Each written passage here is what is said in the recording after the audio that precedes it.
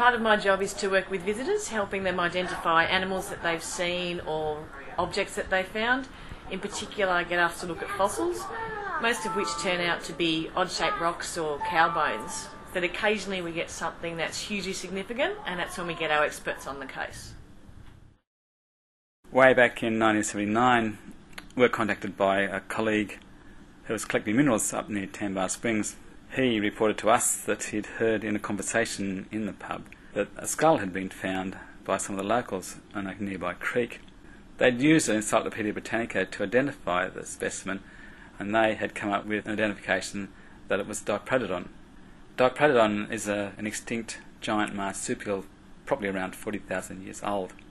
So we arranged then to go up and have a look to see what they actually had found. We were pretty sceptical and to our surprise, when we were shown fragments that were broken off, it was actually a diprotodon. Now it's not just a tall story in a pub. The whole skeleton is now on display in Coonabarabran, where anyone can go along and have a look at it.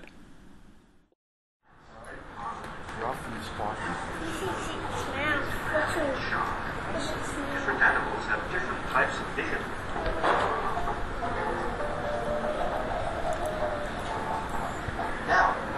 out.